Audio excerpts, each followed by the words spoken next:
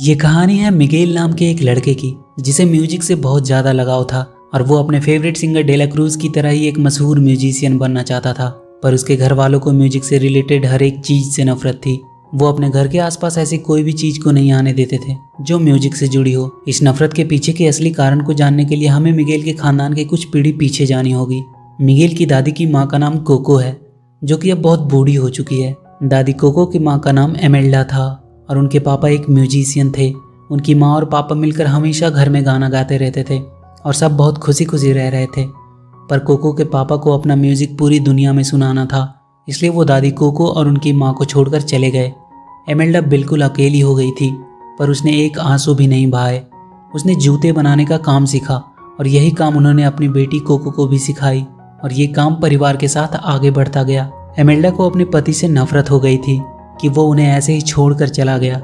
इसलिए उसने उसकी हर एक चीज़ को अपने घर से हटा दिया और म्यूज़िक से उसे नफरत हो गई थी। और म्यूज़िक के प्रति ये नफरत उनके परिवार के साथ ही आगे बढ़ती गई। पर मिगेल अपने परिवार वालों से अलग था, क्योंकि उसे म्यूज़िक बहुत पसंद थी। वो महान म्यूजिशियन डेला क्रूज की तरह ही बनना चाहता था, क्योंकि डेला क्रूज भी किसी वक्त एक आम आदमी हुआ करता था।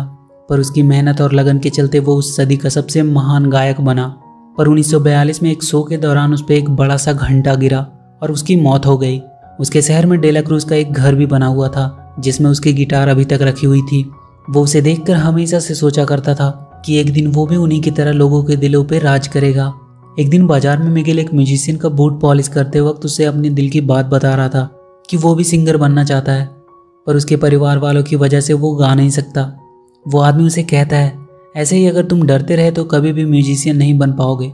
वो मिगेल को आज रात होने वाले टैलेंट शो में हिस्सा लेने को कहता है।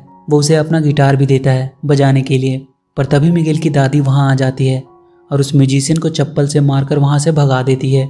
वो मिगेल को अपने साथ घर ले आती है। मिगेल के मॉम डैड उसे समझाते हैं कि म्यूज़िक वाले लोगों से हमेशा दूर रहो।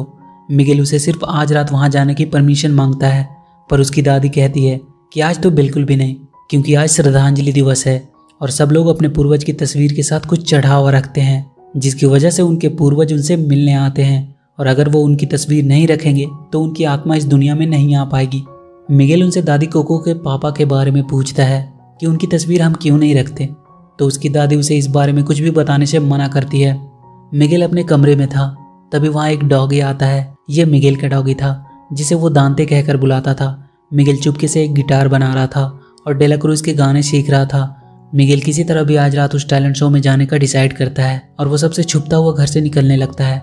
पर दादी के वहाँ होने की वजह से वो दांते और अपने गिटार को उन पूर्वजों की फ़ोटो वाले टेबल के नीचे छुपा देता है। पर दांते की वजह से दादी इमल्डा की फ़ोटो नीचे गिरकर टूट जाती है। उस फ़ोटो को पूरा खोलकर जब मिगिल देखता है तो उसे पता चलता है कि दादी कोको के पापा के हाथ में गिटार है और ये वही गिटार है जिसे डेला क्रूज बजाया करता था। वो समझ जाता है कि डेला क्रूज ही उसके परदादा हैं। वो खुशी के मारे उस तस्वीर को लेकर अपने सारे परिवार को बताता है कि उसके परदादा एक महान म्यूजिशियन थे और वो भी अब उन्हीं की तरह बनेगा। उसकी दादी गुस्से से उसका गिटार तोड़ देती है। मिगिल नाराज़ होकर वहाँ से भागकर बाज़ार में आ जाता है। वो वहाँ के बहुत से लोगों से गिटार उधार माँगता है ताकि वो परफॉर्म कर सके, पर हर कोई उसे गिटार देने से मना कर देता है। तब मिगिल डेलाक्रूज के घर पर रखी हुई गिटार चुराने जाता है।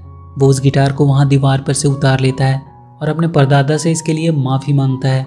और वो उस गिटार को बजाना शुरू करता है। तभी वहाँ के लोग वहाँ आ जाते हैं। पर यह क्या? मिगिल को कोई वहाँ देख नहीं पा रहा था और ना ही वो किसी को छू पा रहा था। वो घबरा कर भागने लगता है और एक गड्ढे में गिर जाता है। उसे वहाँ से एक औरत निकालती है, जो कि एक कंकाल होती है। मिगिल बहुत डर जाता है। उसे वहाँ बहुत से कंकाल जैसे दिखने वाले लोग दिखाई देने लगते हैं। उसका डॉगी दांते उसे अभी भी देख सकता था। वो उसके पीछे भागने लगता है और एक कंकाल से टकरा जाता है। वो मिगिल के रिश्तेदार ही थे। वहाँ उसे उसके और भी सारे रिश्तेदार मिलते हैं। उसके रिश्तेदार भी परेशान थे कि कोई ज़िंदा इंसान ऐसे कैसे बन सकता है? तभी मिगेल के दादा वहाँ भागते हुए आते हैं और कहते हैं कि एमेल्डा उस दुनिया से यहाँ नहीं आ पा रही है। वो सब मिलकर मिगेल को अपने साथ लेकर आत्माओं की दुनिया में जाने लगते हैं। दांते भी उसके साथ ही जाता है। उनकी दुनिया को देखकर मिगेल हैरान था। उसे वहाँ बहुत से जानवर भी दिखाई देते हैं, जिन्हें वो रोही परिंदा कहकर बुलाते थे। उनकी दुनिया में भी सब कुछ सिस्टमेटिक रूप से था। उनके गार्ड्स उन्हीं आत्माओं को इंसानों की दुनिया में जाने देते थे, जिनकी तस्वीर उनके घर वालों ने श्रद्धांजलि दिवस पर लगाई होती है। वहाँ एक हेक्टर नाम का कंकाल था, जो कि हमेशा से उस दुनिया में जाना चाहता था, पर उसकी तस्वीर किसी ने कभी नहीं लगाई, इसलिए उसे बार बार रोक दिया जाता है। वो भागने की कोशिश करता है, पर वहाँ के गार्ड्स उसे पकड़ लेते हैं। मिगिल के रिश्तेदार उसे लेकर वहाँ के हेड ऑफ़िस में जाते हैं, जहाँ इमेल्डा परेशान थी कि उसे दूसरी दुनिया में क्यों नहीं जाने दिया जा रहा है। वहाँ के गार्ड्स का कहना था कि किसी ने उनकी तस्वीर ही नहीं रखी है। तभी वो वहाँ मिगेल से मिलती है। वहाँ के ऑफिसर से पता चलता है कि उसे गिटार चुराने की वजह से ये श्राप मिला है। मिगेल इमेल्डा की तस्वीर अपने साथ लेकर आ गया था, इसलिए वहाँ तस्वीर न होने के कारण उसे जाने नहीं दिया जा रहा था। वहाँ का ऑफिसर बताता है कि मिगेल को वापस भेजने के लिए उसे अपने किसी रिश्तेदार से आशीर्वाद लेना होगा। वो भी आज सूरज उगने से पहले, नहीं तो वो भी इनकी तरह ही बनकर हमेशा के लिए यहीं रह जाएगा। एमेल्डा अपने हाथ में एक पंखुड़ी लेकर मिगेल को आशीर्वाद देती है कि वो वापस जाकर उसकी तस्वीर चढ़ावे पे रखे और हमेशा के लिए म्यूज़िक से दूर रहे। पंखुड़ी को छूते ही मिगेल वापस से वहीं आ जाता है, जहाँ से वो गया था, पर उसने फिर से वो गिटार लेना चाहा और वो वापस आत्माओं की दुनिया में चला गया। एमेल्डा उससे कहती है कि तुमने दो सेकंड में ही अपना वादा तोड़ दिया। मिगेल कहता है कि वो म्यूज़िक के बिना नहीं रह सकता। वो बाकी के सब रिश्तेदार से आशीर्वाद माँगता है, जिसमें कोई शर्त ना हो, पर कोई उसे म्यूजिशियन बनने का आशीर्वाद नहीं देना चाहता था। मिगिल वहाँ से भाग जाता है। वो कहता है कि म्यूजिशियन बनने के लिए वो एक म्यूजिशियन से ही आशीर्वाद लेगा और वो अपने परदादा डेला क्रूज को ढूँढने निकल जाता है। एमेल्डा मिगेल को ढूँढने के लिए एक रूही परिंदा पपेटा को बुलाती है। मिगेल को वहाँ वही हेक्टर मिलता है। वो कहता है कि वो डेला क्रूज को जानता है और वो उसकी मदद करने के लिए तैयार हो जाता है पर उसके बदले में उसकी तस्वीर ले जाकर उसे उस दुनिया में लगानी होगी। मिगेल मान जाता है। हेक्टर मिगेल के फेस पर पेंट लगा देता है ताकि उसे कोई पहचान ना सके। मिगेल वहाँ डेला क्रूज के प्रोग्राम का बैनर देखता है। हेक्टर उसे बताता है कि हर साल डेला क्रूज अपने शो के साथ श्रद्धांजलि दिवस को खत्म करता है और वहीं जाकर हम उनसे मिल सकते हैं। हेक्टर उसे लेकर एक जगह पे जाता है, जहाँ डेला क्रूज अपने प्रोग्राम का रिहर्सल करता है, पर वहाँ पहुँच उसे पता चलता है कि वो कभी रिहर्सल पर नहीं आता है। उससे अगर मिलना है तो उसके घर जाना होगा, जहाँ वो आज रात एक बड़ी पार्टी देने वाला है, पर उस पार्टी में वही जा सकता है जिसके पास उस पार्टी का पास हो। लेकिन एक और रास्ता भी है। आज डेलाक्रूज चौक पे होने वाले म्यूज़िक कंपटीशन में जो जीतेगा, उसे डेलाक्रूज से मिलने का मौका मिलेगा। मिगिल हेक्टर से एक गिटार दिलवाने को कहता है। हेक्टर उसे लेकर एक आदमी के पास जाता है और उनसे उनकी गिटार उधार माँगता है। वो हेक्टर को एक आखिरी बार उनका फेवरेट गाना सुनाने को कहता है। हेक्टर को गाता देख मिगिल को विश्वास नहीं हो रहा था कि ये भी इतना अच्छा गा सकता है। और वो गाना सुनते सुनते वो आदमी सुनहरी धूल में बदल जाता है और कहीं गायब हो जाता है। मिगिल हेक्टर से पूछता है कि उसे क्या हुआ? हेक्टर उसे बताता है कि जब ज़िंदा दुनिया में कोई याद करने वाला नहीं बचता है तो इस दुनिया को भी छोड़कर जाना पड़ता है। और यह होती है आखिरी मौत। वहाँ से गिटार लेकर वो जाने लगते हैं। हेक्टर मिगेल को बताता है कि वो डेला क्रूज के गाने खुद ही लिखा करता था। मिगेल को लगता है कि ये फेंक रहा है। चौक पे मिगेल अपनी परफॉर्मेंस शुरू कर देता है और हेक्टर उसके गानों पे डांस करता है। उनका परफॉर्मेंस सबको बहुत पसंद आता है, पर तभी मिगेल देखता है कि उसके रिश्तेदार उसे ढूंढते हुए वहाँ आ गए हैं। हेक्टर मिगिल से कहता है कि वो अपने रिश्तेदार से आशीर्वाद लेकर वापस चला जाए और उसकी तस्वीर वहाँ लगा दे, क्योंकि उसकी यादें मिट रही है और उसके पास अब ज़्यादा वक्त नहीं रह गया है। पर मिगिल हेक्टर को भी छोड़कर वहाँ से भागने लगता है। दादी एमेल्डा उसका पीछा करती है। एमेल्डा अपना एक गाना मिगेल को सुनाती है और उसे समझाती है कि उसके पर दादा अच्छे इंसान नहीं थे। वो उन लोगों को अकेला छोड़कर चले गए थे। तुम बताओ तुम्हें अगर म्यूज़िक और परिवार में चुनना पड़े तो तुम क्या चुनोगे? मिगिल कहता है कि उसे नहीं चुनना किसी को। आप उनका साथ भी तो दे सकते थे। परिवार तो होते ही इसीलिए है ना? और वो वहाँ से चला जाता है अपने परदाता डेला क्रूज के घर। और वहाँ एक म्यूज़िक बैंड के साथ छुपकर वो उसके घर में एंट्री करता है। हेक्टर भी रूप बदलकर उस पार्टी में घुस जाता है। मिगेल डेला क्रूज को बताता है कि वो उसका पर पोता है और वो भी उनकी तरह ही म्यूजिशियन बनना चाहता है। डेला क्रूज भी खुश था और वो मिगेल से कहता है, तुम अपने सपने को किसी और के लिए छोड़ नहीं सकते। तुम वही बनो जो तुम चाहते हो। चाहे कोई भी कुछ भी कहे। वो मिगेल को म्यूजिशियन बनने का आशीर्वाद देने लगता है। तभी हेक्टर वहाँ आ जाता है। वो मिगेल को अपनी तस्वीर देता है। हेक्टर डेला क्रूज को कहने लगता है कि आज उसके साथ जो भी बुरा हो रहा है, उसकी वजह डेला क्रूज ही है। उसने उसकी सारी लिखी हुई गाना को अपना गाना बना लिया और इतना फ़ेमस हो गया। डेला क्रूज हेक्टर से कहता है कि उसने जानबूझकर ऐसा नहीं किया। वो दोनों साथ में गाना बनाते थे, पर हेक्टर के मरने के बाद उसे समझ नहीं आया कि वो क्या करे। इसलिए उसने उन गानों का क्रेडिट हेक्टर को नहीं दे सका। हेक्टर डेलाक्रूज से मदद माँगता है। ताकि वो अपनी तस्वीर उस दुनिया में लगवा सके। हेक्टर उससे कहता है कि, तुम्हें याद है हमारी आखिरी मुलाकात? तुमने कहा था कि तुम मेरे लिए ज़मीन आसमान एक कर सकते हो। मिगेल उससे कहता है, पर ये तो डेला क्रूज की एक मूवी का डायलॉग है। वो उसे वो मूवी दिखाता है। पर इस मूवी में तो डेला क्रूज का दोस्त उसे जहर देता है। तब हेक्टर को उस रात की बात याद आती है।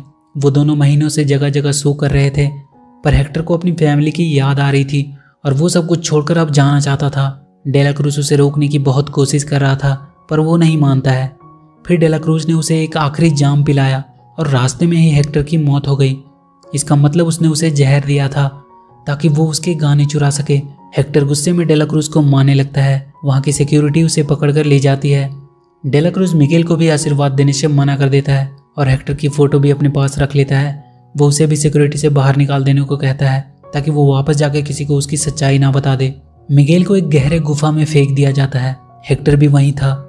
पर वो धीरे धीरे पीला पड़ रहा था। वो कहता है कि उसकी बेटी कोको उसे भूलती जा रही है और अगर वो मर गई तो वो भी सुनहरी धूल बनकर इस दुनिया से कहीं और चला जाएगा। पर वो अपनी बेटी कोको से कभी नहीं मिल पाएगा, जिसके लिए उसने इतने सालों तक इंतज़ार किया। कोको का नाम सुनकर मिगेल उसे वो फ़ोटो दिखाता है और कहता है कि क्या ये तुम हो? तब मिगेल को पता चलता है कि हेक्टर ही उसके असली दादू हैं। डेला क्रूज ने उसके गिटार और गाना सब कुछ चुरा लिया। तभी वहाँ दांते आता है और उसके साथ वो रूही परिंदा और इमेल्डा भी थी। वो उन लोगों को वहाँ से बाहर निकालते हैं। एमेल्डा अभी भी हेक्टर से नाराज़ थी, पर मिगेल उनकी असली सच्चाई सबको बताता है कि कैसे डेलाक्रूज ने उन्हें घर नहीं जाने दिया और जहर देकर मार दिया। एमेल्डा उसे माफ़ कर देती है और वो लोग डेलाक्रूज से हेक्टर की तस्वीर लाने के लिए जाते हैं। उसका शो स्टार्ट होने वाला था। वो सब मिलकर डेलाक्रूज से वो तस्वीर छीन लेते हैं और वो दोनों मिगेल को आशीर्वाद देने ही वाले थे कि डेलाक्रूज आकर मिगेल को पकड़ लेता है। वहाँ स्टेडियम में लगे कैमरे को डेलाक्रूज की तरफ़ घुमा दिया जाता है। जिससे उसकी सारी बातें सब लोग सुन रहे थे। वो कहता है कि वो मिगेल को कभी भी वापस नहीं जाने देगा। मिगेल कहता है कि तुम झूठे हो। तुमने हेक्टर के गाने चुराए हैं। वो मिगेल को वहीं से नीचे फेंक देता है। मिगेल के हाथ से हेक्टर की तस्वीर नदी में गिर जाती है। वो रोही परिंदा आकर मिगेल को गिरने से बचाता है। डेलाक्रूज वापस से अपने प्रोग्राम में आ जाता है, पर सबको उसकी सच्चाई मालूम हो चुकी थी।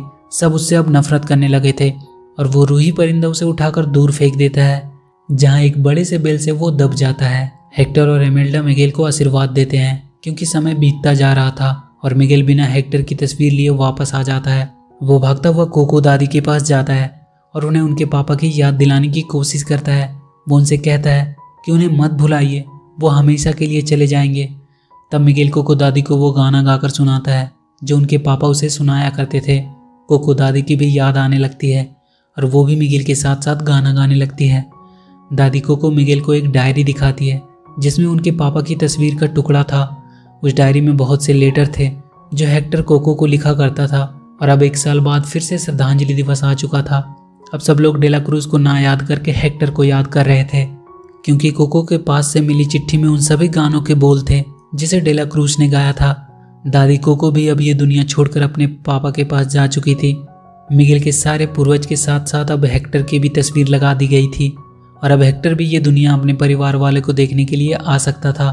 वो अपनी बेटी कोको से भी मिल चुका था और इसी हैप्पी एंडिंग के साथ ये मूवी खत्म हो जाती है। तो वीडियो अगर अच्छी लगी तो हमारे चैनल को सब्सक्राइब करें और बेल आइकन ज़रूर दबा लें।